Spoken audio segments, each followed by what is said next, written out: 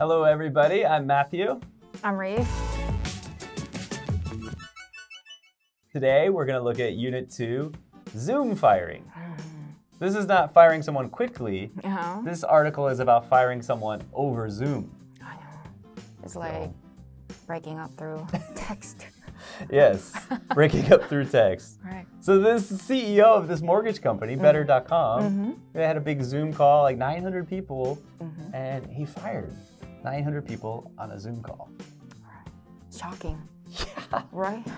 that's the worst. It's the worst case. That is the worst. Right. Because usually there's a step to get rid of people. Sure. Probation.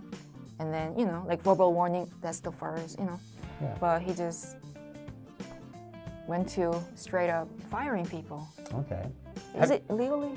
Uh, in the US, you can fire someone for anything, Mm, at will? really. Maybe. I've been fired for no real reason, just, yeah, we don't want to spend any more money on workers. Mm. You five are new, you're gone. Or, yeah. right.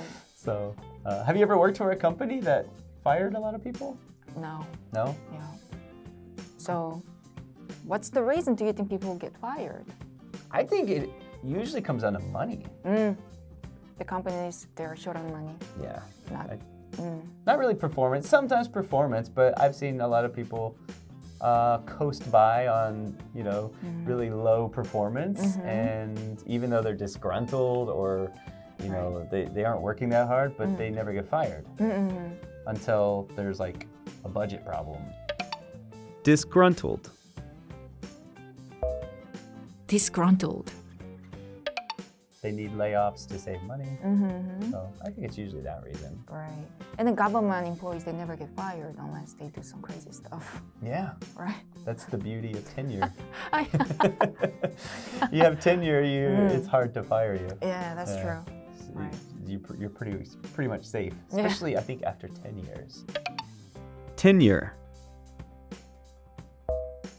Tenure. So they can get slack off whenever they want. Yeah, Right. Yeah. exactly. I've seen those people. Without further ado, take a look at the article and we will see you at the review. Without further ado, Without further ado.